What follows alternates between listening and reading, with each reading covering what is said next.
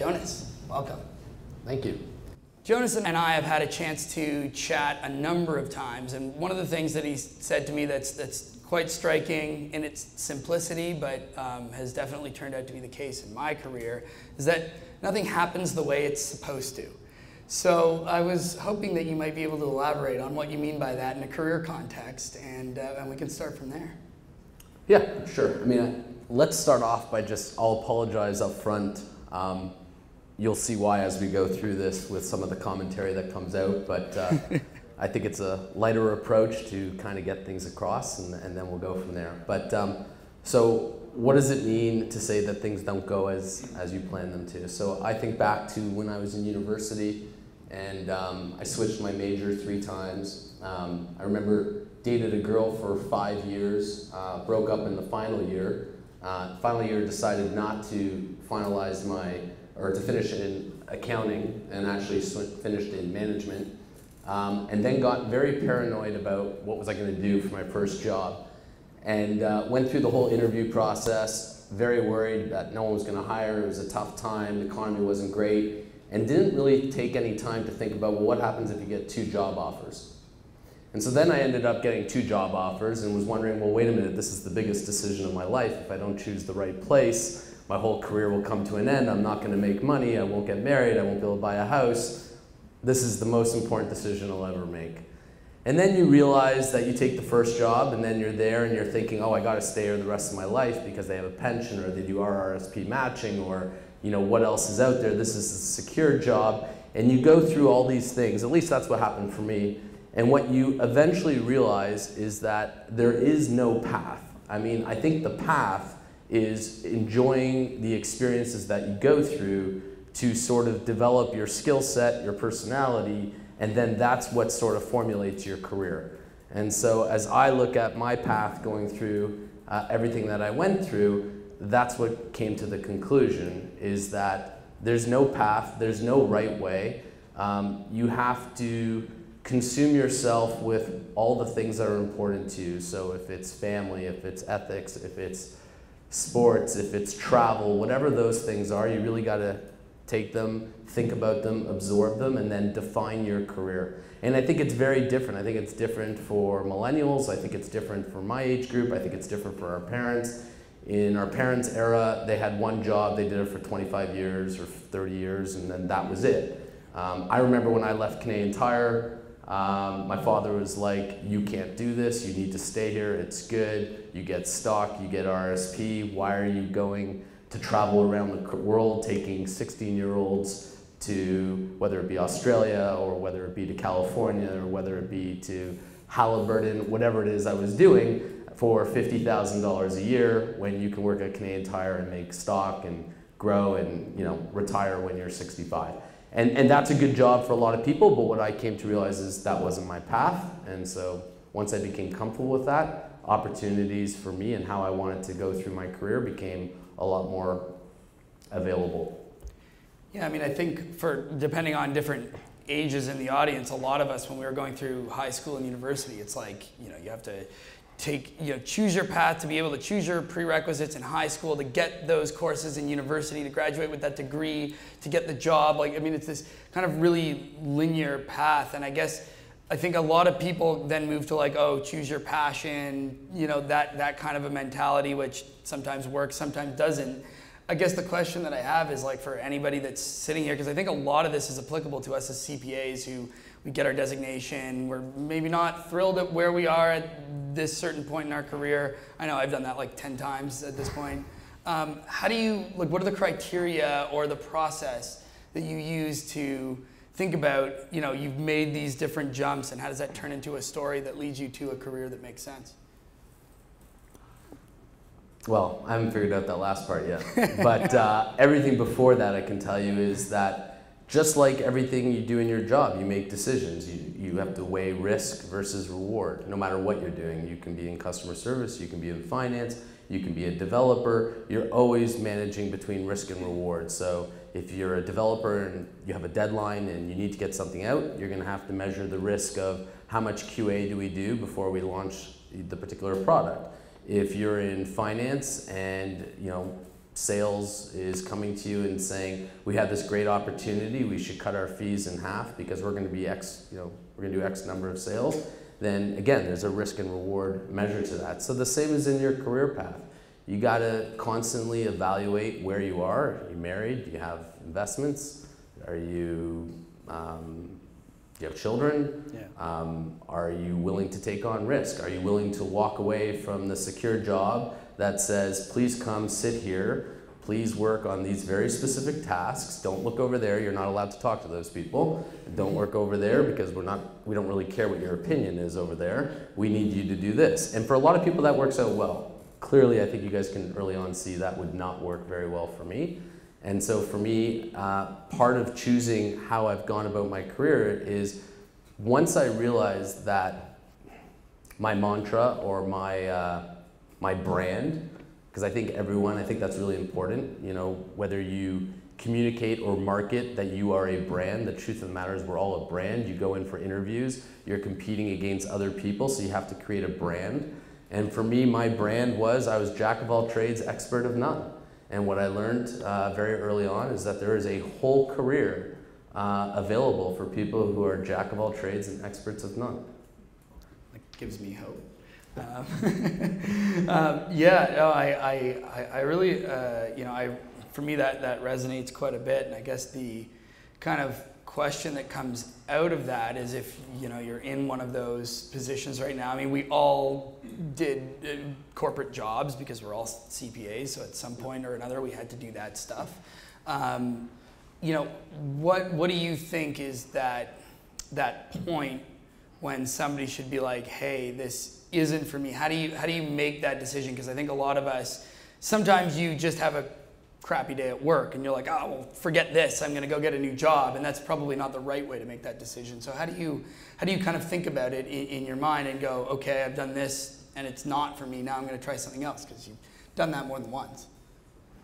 Yeah, um, I think I think part of it is immaturity and maturity work both for you and against you. So immaturity is I worked at Canadian Tire. Uh, it really was uh, one of the best places I ever worked. I think um, the great thing about Canadian Tire is that they have a whole training facility. So you know you get hired at Canadian Tire, you go into supply chain, you don't actually see the floor for three months. You're in a training room.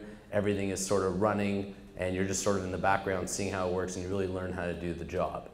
And so um, I think I think that part I sort of lost my train of thought here, but I think that tell me the question.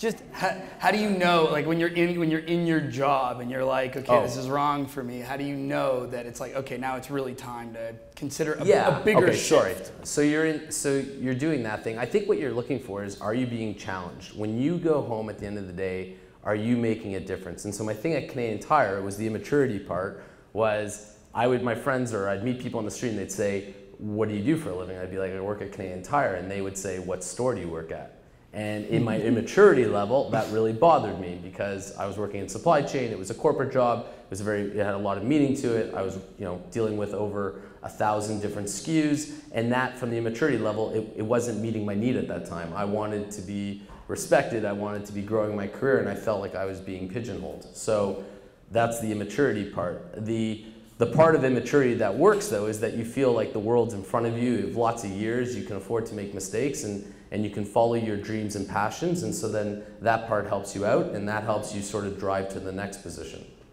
Then on the maturity side is obviously the obvious part is that you think about, um, you know, I got responsibilities, so I need to take a job that will cover my expenses or whatever those reasons are that you make them. But on the other side of maturity is you start thinking about who you are and you think about what you want to do. And so for me, um, I drive down the street and I look at buildings and I look at bridges. And I'm always amazed by buildings and bridges because these people one day will take their children in their cars or on their motorcycles or they'll walk down the streets and they will say to someone, I built that. I built that. I laid that brick. I designed that bridge. I designed that house. And their children get to see everything that they did.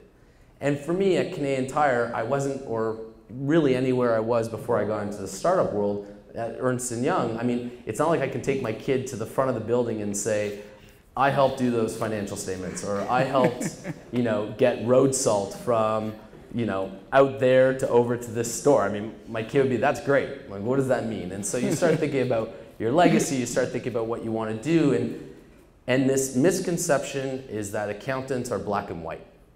And I don't think that's true. And um, for those who don't know, I'm actually, I'm a CPA CMA. And uh, one of the reasons why I chose CMA is because when I was deciding what I wanted to do, they had a commercial. And the commercial had Laurentian pencil crayons. I don't know if everyone knows what those are, but when I went to school, you could either get 12, 24, or 48 pencil crayons. You took them to school and you did your coloring. And I was like, they get it. Yes, we're strong, you know, with financials. We like numbers. We're good at analytics. But you know what? We also have a creative side to us. And once I realized that I can't sing, uh, I have lyrics deficiency, so it's not like I can, you know, go and do uh, sing on a stage or act or anything like that. We're not going to get a Bieber performance. No, no Bieber performance. I can't. I can't draw. Uh, I, I, like I said, I'm an expert of nothing.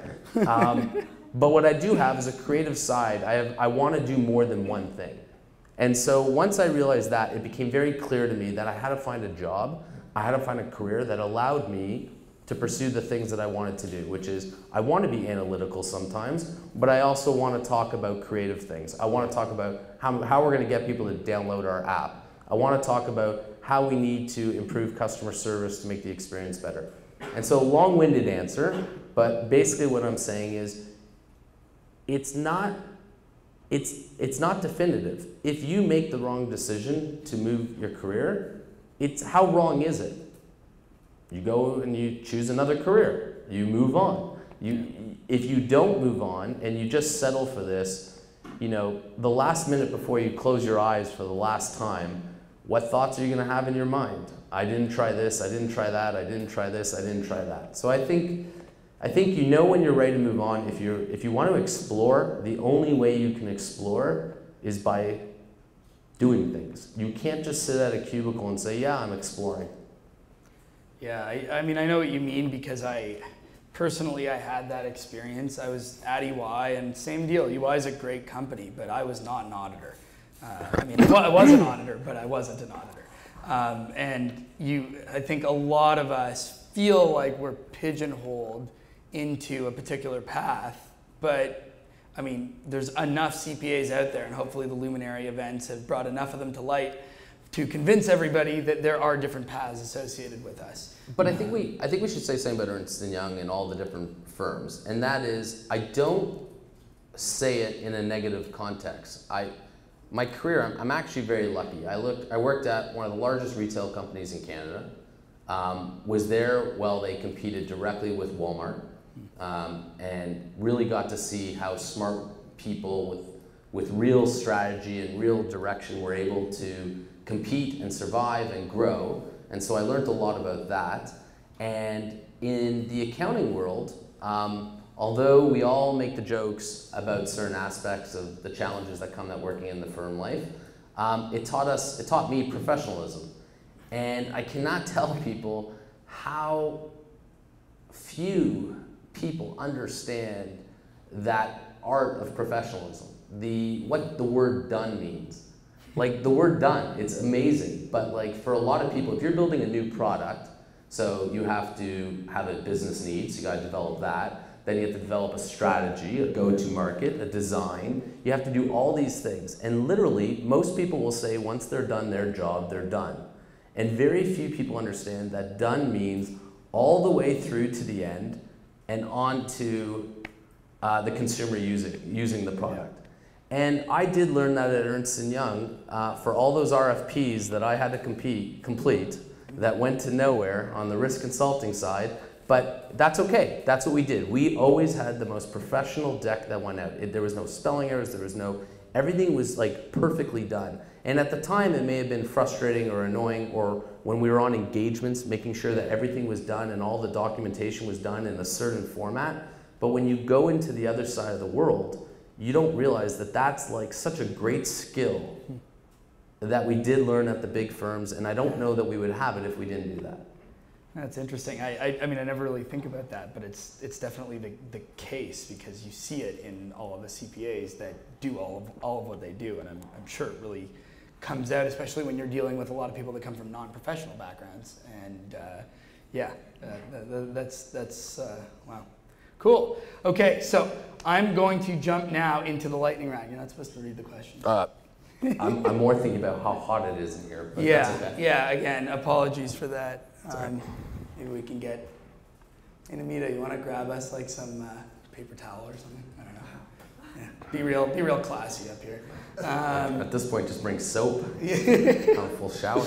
So we're gonna do our lightning round, and the idea here is that we're gonna ask Jonas like a bunch of quick questions, like should be one phrase, one one one word answers, um, to get to uh, know him a little bit better. So right off right off the bat, um, what's the most? Yes, Denise. We did. A, right. We apologized up front, so I think it's fair. Yeah. Yeah, we're allowed, we're allowed to do this. is the casual, intimate event. I should have been wearing my hoodie and then I'd be dripping too. But um, sponsored by paper towel. Yeah, sponsored by Bounce. Scotties or Bounce. Uh, um, so let's uh, let's kick this off with what is the most outrageous thing one of your kids has said or done.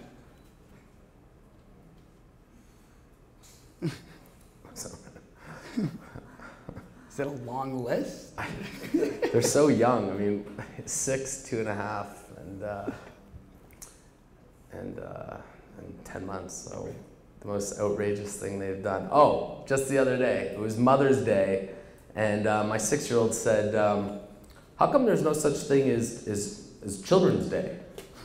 And we looked at him and we said, well, what do you, what do you mean? Like, well, we're making mommy dinner, like breakfast today, but like, how come there isn't a day when you guys make me breakfast. And we looked at him and we said, What is every other day? And he's like, I don't get it. Not gifted, I guess. Not true. Scratch that from the tape. So, so the apple didn't fall too far from Something like that. um, so, you know, I mean, one of your things is that you're, you're a jack of all trades, you do all sorts of stuff, but one, what's one thing that you can't do even if your life depended on it? Sing. Okay, should we make him sing? No, I won't. I won't, I won't do that. I, I, I have lyrics deficiency, so I, I couldn't sing anything anyway. Okay, fair. Like, I, like literally, I do, uh, again, my kids are young, so I'll do Itsy Bitsy Spider, and the kids sing it to me, and they're like, no, you got it wrong. Like, I just, I just can't do it. All right, all right, so your kids didn't get that deficiency? No, oh, no they're, they're more like my wife. um, this is this is one that we like to ask uh, uh, everybody. What, what, what accounting buzzword do you think best describes your personality?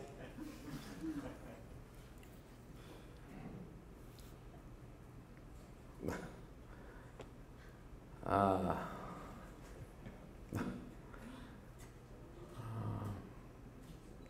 surplus. Surplus. Nice. Okay, good choice. Um, all right, now this one, this one, I'm sure you're going to be really excited to to talk about. Um, what are your thoughts on IFRS 9, effective January 1st, 2018? I, I have an answer for this. Do you? Yeah. Oh, geez, I actually wasn't expecting that. Yeah. Call your auditors. Good, nice. Okay, because that was that was just a troll question. Uh, so, um, what's you know you work at a company that is constantly um, doing everything around like sports and entertainment. So, what's like the coolest perk or the like best event that you got to go to because of your job? So I've been to a few. Uh, I'm not going to lie about that. Um, I I've been to the Super Bowl. Uh, went last year in uh, in Minnesota, but that was not uh, the greatest event. Um, the greatest event was uh, Edwin uh, Encarnacion's home run uh, in the playoffs against, uh, I guess it was Baltimore. Uh, that was pretty great, and we had one of our uh, partners in, so it really was, we were growing the partnership, and things were going well, and, and I'm not gonna lie, after he hit that home run, the, the partnership and the relationship got a lot better, and it was, we should probably thank the Toronto Blue Jays for, for making that happen. There you go. All right. But but I will say everyone should. You know, not everyone should go. The Super Bowl is a made-for-TV event. That's what I'll say. It really is a great experience. It's more um, everything that's going outside the event. Hmm. Um, unfortunately, um, in Minnesota, and you know, about 15 degrees colder than here in, in, in that time of year, it's uh, you could choose a better location to go to. Fair, yeah. Um, okay, just wait, show of hands. Who here actually knows what IFRS 9 is? All right, we are great accountants in this bunch. Um, yeah, so we're going to jump into the second part of the, the, of the chat tonight. The probably the, the thing that uh, everybody here is really interested to learn about from Jonas. It's all about his time at uh, Fanxchange, scaling a startup. So the way that we're going to do this, so we're actually going to have kind of like four topics. Um, I'm just going to kind of introduce the topic. We'll have a chat for maybe like two minutes on it, and then we're just going to take questions from the audience. Uh, and if you can, try to keep it within that topic. We'll do a general Q&A at the end if anybody wants to ask Jonas what he eats for breakfast or what he made his kid for breakfast on Mother's Day or whatever it was. But, uh, but yeah, so like num- number one, I think a question that comes up a lot when you're talking about um, titles like Chief Operating Officer is like, what the heck do you actually do? Um, so if you could just like for a, a, a, minute or two talk about what you do, why you're a COO rather than a CFO, um, and, and what, that, what does that really mean in the context of, uh, of a scaling startup? Yeah, so let me answer the second part and then the first part. So, so why did, how did I become the COO of Fanxchange and, and why not the CFO? And, and the answer is actually um, quite simple, and I think everyone will appreciate it, is that I think, well, first of all, I think if you lined up nine accountants and I was the 10th, and someone said to you, put an order of who you think the accountant is, I would probably be the 10th person. Um, and, and, and I actually, I like being that person, the 10th in line, because I think it, I think it describes where not every accountant needs to go, but where some of us in this profession need to go. And so um, the reason why I chose the route of COO is because everyone who needs me to be the CFO knows I am the CFO of Fanxchange. So when we're engaged in discussions with our board and we're presenting financial statements, I'm seen as the CFO when we're out there raising money uh, and we're down in the valley or up here in Toronto, then I'm seen as the CFO. Uh, when we're dealing with shareholders, when we're dealing with our lawyers, and in those circumstances, um, everyone will see me and understand me as the CFO. When we're out there in the rest of the business, which there's a bigger part to the business than just that, and so if I'm supporting our business development team, if I'm supporting or overseeing customer service or supporting account management or really any aspect of the business, um, I think there's something about being the COO which has a more wide ranging breadth of knowledge of how the company operates in terms of not just the numbers, not just the policies and the procedures, but actually how the day to day mechanics of the business works. And so um, just as we want to be seen, uh, well, I don't know if everyone does, but I look at myself as an accountant and I want to be seen as different than a traditional accountant. I want to be seen as creative. The other side of it is I actually find people get intimidated when they hear there's a numbers person in the room. And what can be a very open and honest and general conversation where everyone's contributing ideas, they, they sort of sit back and everyone sort of refers to the CFO. And, and so that was just a personal choice. Um, that being said, as we continue to grow, I think at some point um, things will change and I'll have to make a decision and probably rethink that process and work with Brandon and Sean, the founders, and, and determine what makes more sense. But for where we were as a company, it made sense to do that. In terms of what I do day to day, um, it's very different than when I started. When I started, we were 14 people. Uh, I spent a lot of time on streamlining our accounting procedures and policies. Um, the policy thing is tough. You walk into a company, um, there's people who are there that have been there from the beginning. They're really connected with the founders. They don't have really any skill set, but they're loyal and they've been there and they do whatever it takes. And so um, you have to work through those things. And so part of my job early on is trying to define people's roles, trying to create policies that don't impact the culture, um, try and um, create a streamlined accounting process. I'll never forget this walking in there the first day and um, checks were being written by hand. They were being written by, uh, I hate to say this, but out of QuickBooks. Um, sorry in the back. Um, but, uh, and there wasn't a consistent checking number and you know, the ledgers were all messed up. And so you start off doing all that stuff. And then once we grew a little more and I could build out the accounting team and I had a controller, now I started moving into other sides of the business, which was helping on the BD side, helping to launch some of our larger partnerships. Um, I have experience working with financial institutions from my time at Berkeley Payment Solutions, so I started getting involved in onboarding. Um, I've always had HR floating around me, and so that part has always remained as part of my uh, responsibilities. And then you start, so you got the account management side, you're working a little bit on the business development side, you've got what in essence is the operations team, and then there's customer service and fulfillment that's sort of flowing around. And so I started, uh, somehow that part rolled up into me as well.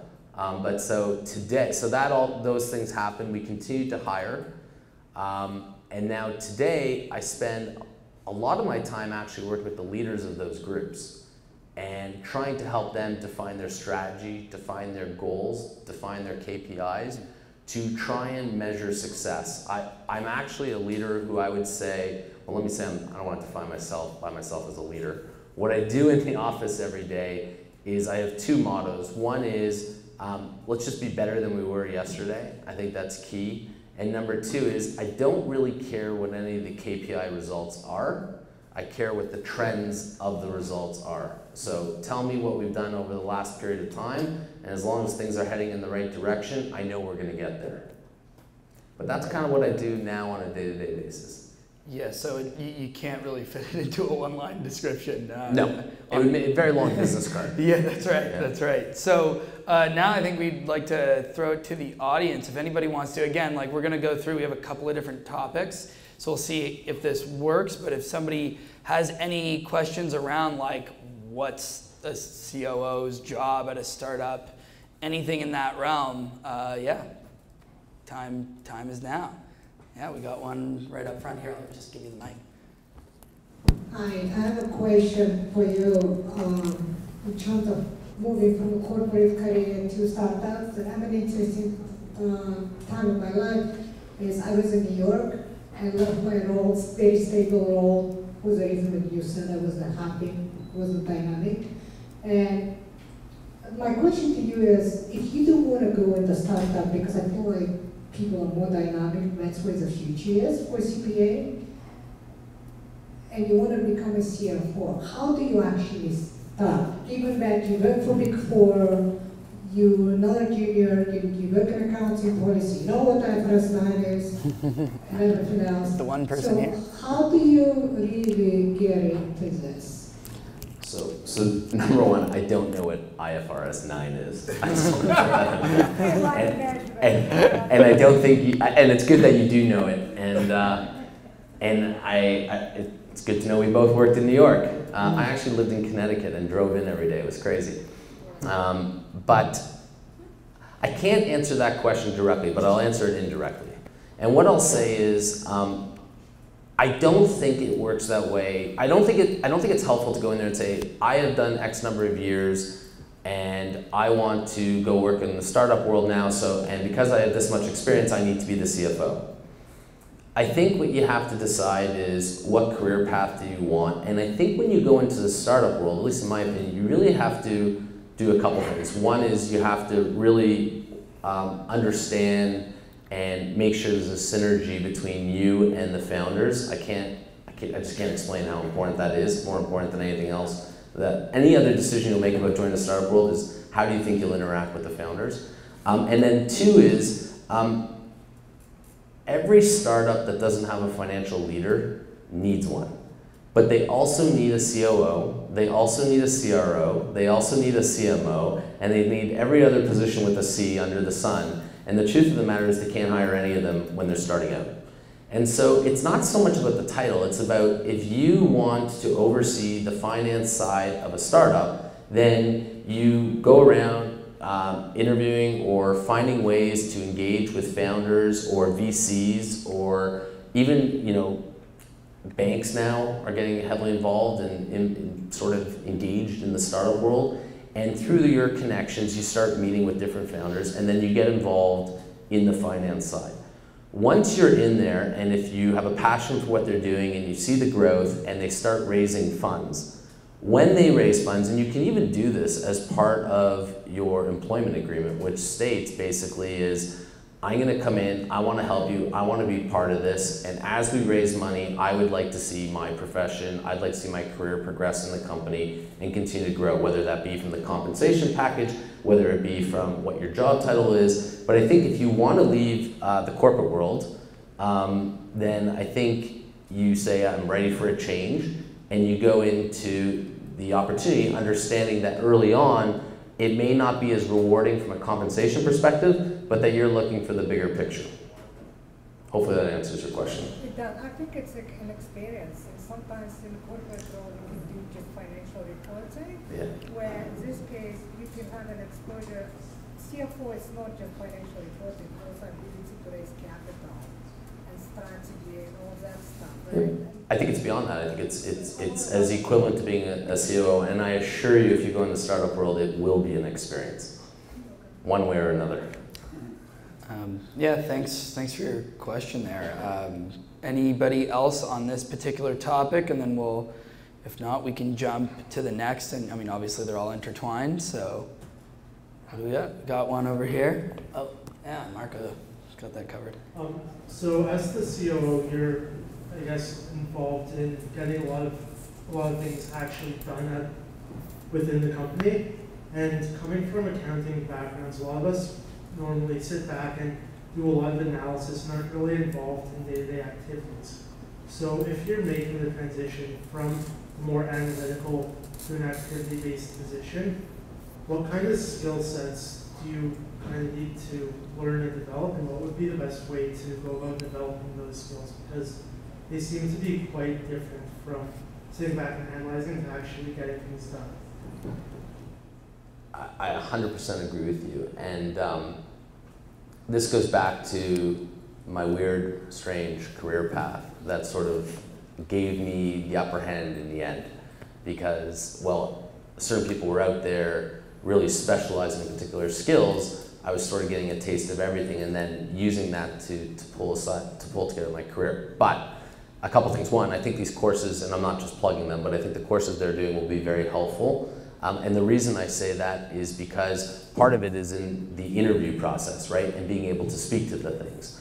Um, so that's number one. And then number two is everyone had part-time jobs. Or, well, again, I don't want to assume everyone had a part-time job, but I think a lot of us had part-time jobs. And so for me, um, it's funny, but um, you know, I'm, I'm 42 years old and I seem to keep going back to when I was a camp counselor. And um, for whatever that reason is, I find that there's a lot of skills that I use today that come from that. Um, and the irony of being a camp counselor and then eventually as assistant section head and then a director of a camp is that um, I was dealing with kids that were anywhere from the age of 6 to 16, and then I was dealing with staff that were closer to my age, only a few years apart. And what I'm going to say next uh, is not to insult employees. It's not what I'm saying, but there's a lot of similarities between that age group all the way through and what I do day to day in the workplace. And so when you want to make that jump, what I would say is don't just think about your audit experience, go all the way back. Think about if you were working at McDonald's and the manager and the operations of putting together a, a hamburger and how much ketchup goes on, how much mustard and how much onions and how much tomatoes well, there's no tomatoes on McDonald's hamburger, but there's pickles. Um, and then thinks about what, if you work there, think about what happens when someone says no pickles. And then what, it, what has to happen and what's the process. And I know that sounds crazy, but the truth of the matter is a lot of those things that you did in your earlier career, you can bring them back and you can reuse them and you can use them for your career. So that's number one. I don't think you just have to say, I've been in audit all these years and therefore I'm stuck in audit. I also had the luxury of, I wasn't in audit, I was on the consulting side, so I acknowledge the relationship side, the interaction, the negotiation on you know what process, how we're measuring that process. The risk was always part of my role, so it was a little bit different. And then the second thing uh, um, that I would point out is that to join the startup and be in the finance side, um, it doesn't have to be the way I did it. Like you're very familiar with a lot of the financial policies that are required um, you know, making sure um, separ separation of duties, all those things. So you come in in the finance role because you have access to the financials, because you understand the profitability and all that. What you'll see is that you'll start just getting involved because you can, because you're there, and because your expertise, your experience, your professionalism, your ability to document, your ability to make decisions, um, automatically will give you the skills you need to move over. Um, so that's that's another thing I'd say. And then the last thing I'd say is um, this idea, and I don't, I find I find it's more prevalent in the accounting world and in the legal world, and I don't know why. But there's this idea that well, we just did our CPAs, we've grown up in the firm, we've made it to senior or manager, whatever. Therefore, I can only leave the manager role for something better. But let me propose this to you. Um, you're going to work in an accounting firm and you know everything from day one. You know what your job title is going to be, you know what your salary increase is going to be. Um, back when I was at Ernst Young, they had the gold and silver award. I don't know if they still do that or not, but you're either going to win it or you're not. You're going to get promoted the next year, you're going to get your X percent increase, and you're going to go up. And you know that eventually you're going to get roughly from what is it, anywhere from zero to $5,000 raises all the way through until you hit um, we no longer need you or we'd like you to be a partner. The other angle to go about is say, I'm going to leave this. I'm going to go and try myself in the startup world and I'm going to go and start off in customer service.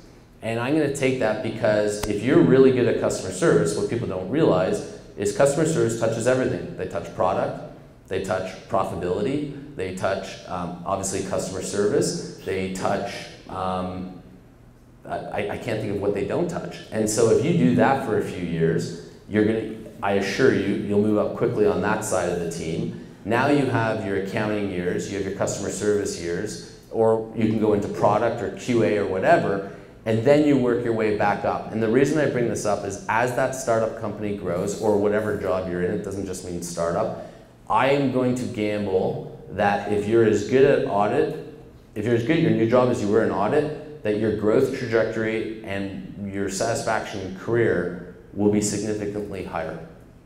And so if you look at this as a zero to two year thing, you can't win. You'll be like, oh, I got to stay on my trajectory. But if you look at it in a longer sort of viewpoint, then it's take a step backwards for, I think, much larger steps forward. Does that answer your question? Yeah, great. Um, you know, I'm actually going to jump into kind of our second topic because we kind of already have. It was all about just, you know, as CPAs, how, how do we know if we are capable of making that leap into, uh, you know, a different type of job, whether it is startup or something entirely different? Um, and how do you know if you're a good fit for these kinds of things? And one thing that you say all the time that I really agree with every day in my job is that no one knows anything. And uh, I'm definitely in that camp. Every day we're trying to figure out what we're doing. That's just kind of part of being a startup. And you said it in a really funny way to me two days ago. You're like, that's why I'm so confident because nobody knows anything. So, you know, if I don't know anything, then uh, at least I'm on par. Um, so I think that, that, you know, kind of rolls into that question of how do you know that you can go and do this? I feel like we're into like the Jonasisms. Um, yeah how do I go through my life? So it is true. I did say that. Uh, I think I think that there's an interesting perspective um, for everyone who works who has worked in a firm, and the first time you go to your client. And on the consulting side, it's you know this could be literally week after week you're going to a new client. And the thing that I always thought interesting is I never knew who to talk to. Who do I speak to? Um, what am I supposed to say? What are my responsibilities? What's considered a good job? Sometimes the manager wasn't even there. I was there on my own. And so I used to get a lot of anxiety over this. I'd walk in there and I was like, what do I do and how do I get out of this or what do I say on the first day? And you know, I'm going to talk to the CEO of a multi-million dollar company. How should I feel? And over the years, what I started realizing is, what is it that people actually know? What is it that they know? How do they figure things out that they know? And it's the old cliche: failure is good. Um, and what I the joke is is that I don't think really everyone, I don't think anyone knows anything until they've experienced it. And so, um, how do you know if you can walk into this part of the career? How do you know if you can leave that and go into the startup world? Is you guys have a tremendous network. So, just as when you don't know what to do, you go to your manager and you say, How do I do this? Well, once you go on to the other side, the private side, the same thing still holds true. You can talk to um, really any expert. You can talk to your friends, your network. All this is still accessible to you.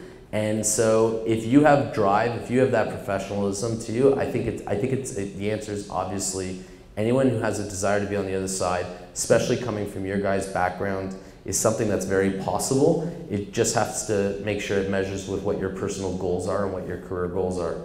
I think once you figure that part out, then it's a very easy thing to do. Great. Um, any questions about just kind of that, um, that I guess that personal decision or, or, or whatever around making that kind of a career switch? I know we've kind of covered that over the stuff that we've been talking about, so I don't know if anybody has anything else they want to ask on that topic. Three, two, one, Marco. Okay, no, we're good. All right, so let's go to the, the next big topic, which is just like scaling a startup. Um, and that's really where I think we'll, we'll spend probably the most of our time now, or the rest of our time on. Um, I mean, there's a lot of different topics here to cover. I, I guess the, the way that I will start it is just by saying, like, how do you create an effective team? How do you design and manage an effective team to build something that's never really been done before? And then from there, we can go to uh, the questions that people have in the audience. Well, I mean, the first answer is obvious. You just hire people that are smarter than you, um, and I, and I think that truly is important. Um, I think when you're building out a team in a startup, you have to do it in a methodical way. And so um, one of the things you're doing is you're trying to manage and measure spend, and at the same time, you're trying to hire appropriately to create growth. And so when you're scaling out the business, I look at it as um, you try and run, in my opinion, try and run the finance team as, as bare minimum as you can. Um, and you really focus on whether it be business development, product, and customer service. And the reason I say that is at the end of the day, it's all about the customer and how you grow that team. So, um, but in order to do those things, the first thing that I think you have to do is you have to have some form of metrics. And so for a Fanxchange, we invested heavily in Power BI, which is run by Microsoft.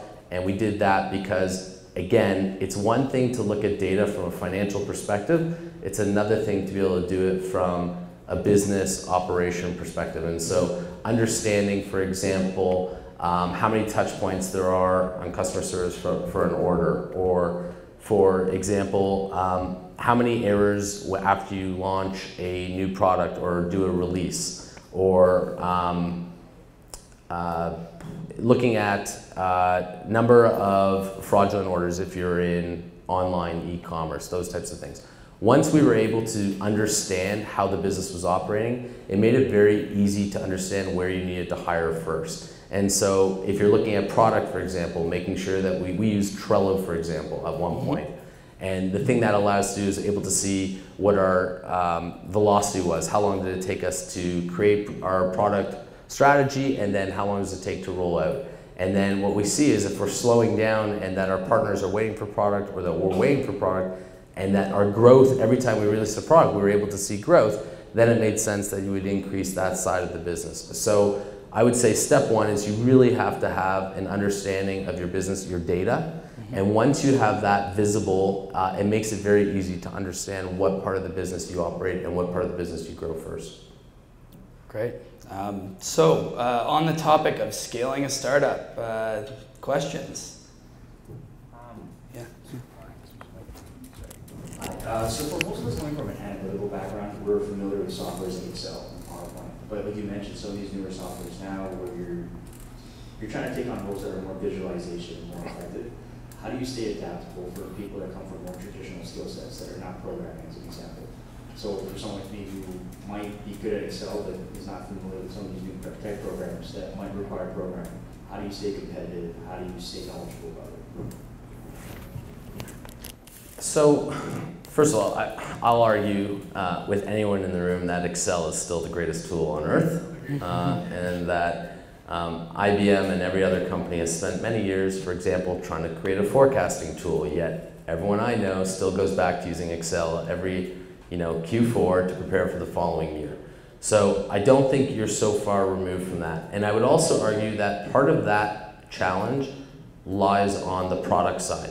So product has both an internal and an external responsibility. External is building products for users to use, but they also should play a role in the products we use internally in your company to help make us more effective. That being said, you got to go to conferences, and the, and it's actually not that hard. So, for example, go to a Salesforce conference. Literally, uh, that's the best one because they have so many apps that tie into Salesforce. They have so many people there. It's at the palm of your hand. You know, they, they run them all the time in Toronto. You can go to, um, uh, we use Power BI. Um, you can use whatever different ones they are, OpenText, and all these people are running different sessions. They're all going on all the time. There's way more than even what I'm familiar with. Obviously, I use what I'm comfortable with at this point, but that's the best way to do it. And I think that's important for anyone who wants to go into the startup world is just to attend these conferences and start learning about different products.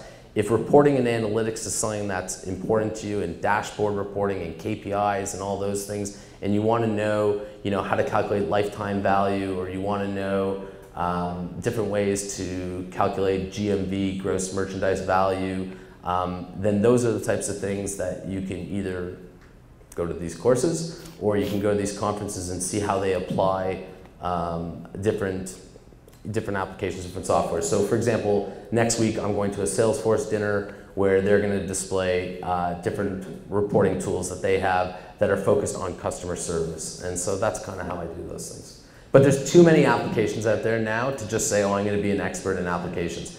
And then when you're in the startup world, what happens is you have um, you have stress points.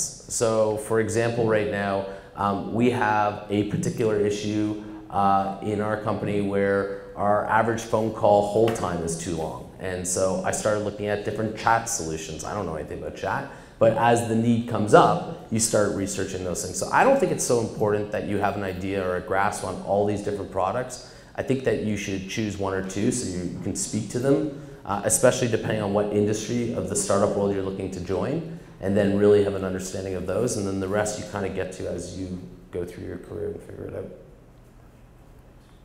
Great. Um, yeah, I mean, at this point, I just kind of maybe open it up as well because we are nearing the, the end. And uh, if anybody's been to one of our events before, you know we like to uh, be pretty pretty good on time and, and not go uh, not go crazy over. But questions here? Any uh, anything else for Jonas? Got a couple. Why don't we see like how many questions do we have? I saw two. Any others in the crowd? Okay, maybe a third. Okay, so let's we'll try to get through two or three in the next uh, couple minutes, and then we'll wrap up.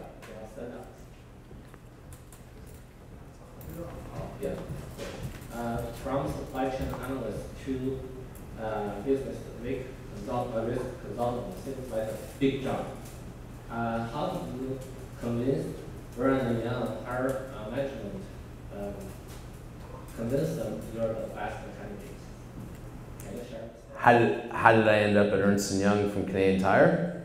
Yeah. Is that what you're asking? Oh, it's much worse than that because I became a camp director first. then I ended up at Ernst & Young. Um, no, I'm kidding. Um, well, no, I'm not kidding. That is what happened. But uh, yeah, network. It, it, it pays dividends. Um, I did well in school. Um, Canadian Tire is a professional environment.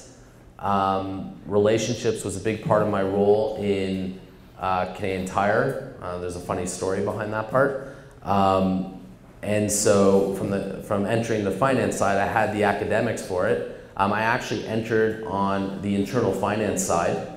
So I was actually working with the partners. Um, and so from supply chain uh, and my relationships with people who were working in the firm, I was able to get in that way.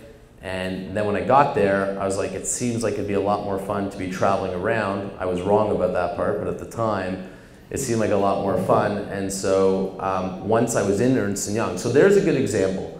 I want to be a consultant at Ernst & Young, but I don't have experience. And I have, you know, seven years of experience, so obviously I should be a consultant.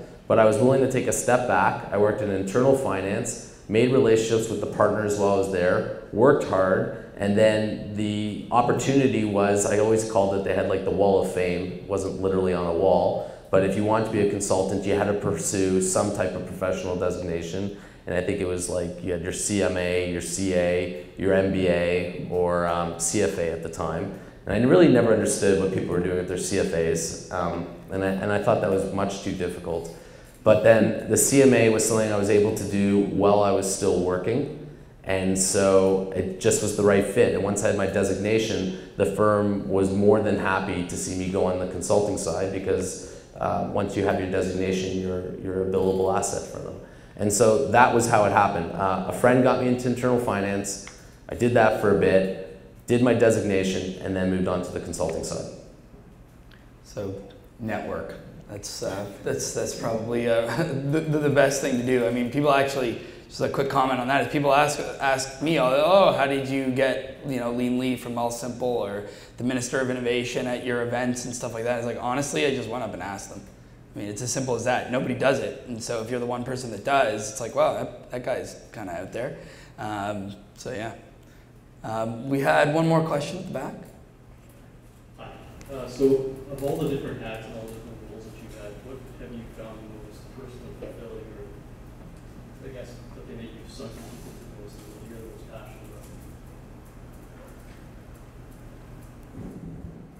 Um, I like what I'm doing now. I really do. Uh, I think uh, Brandon, one of the founders, when I became COO, uh, he made a comment once, and I probably won't quote him properly, but um, it was along the lines of like, you know, with this role, you're now here for all the people. It, it's not you're just here for the accountants or you're just here for them. You have a responsibility to ensure the organization is operating in an efficient manner. And uh, it's opened my eyes to a whole bunch of things. Um, people who know me personally know that through business school, marketing wasn't um, something I had a lot of patience or time for. And yet, uh, at this point in my career and the amount of time I spent working with the marketing team, I have a real appreciation for what they're doing. Um, I get to explore new opportunities, I get to do new things.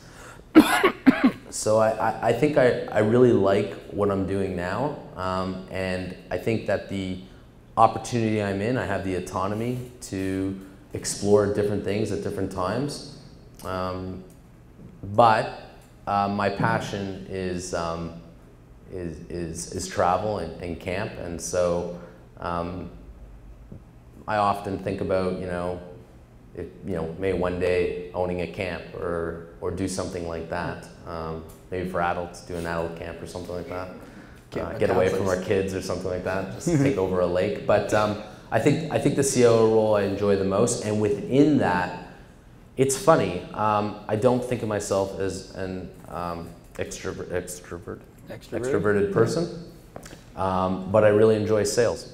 And I like when I get the opportunity to jump in on one of the larger business deals and um, sort of see that deal come to fruition. So that's been a lot of fun too, because traditionally I don't think that's something that I would have ever thought I would do. Great. Well, I, I think we have run out of time, so unfortunately, I'm sure Jonas will stick around for uh, a couple of minutes if, uh, if you want to ask some questions. But um, if everybody could just give Jonas a round of applause, and thanks so much for coming out today.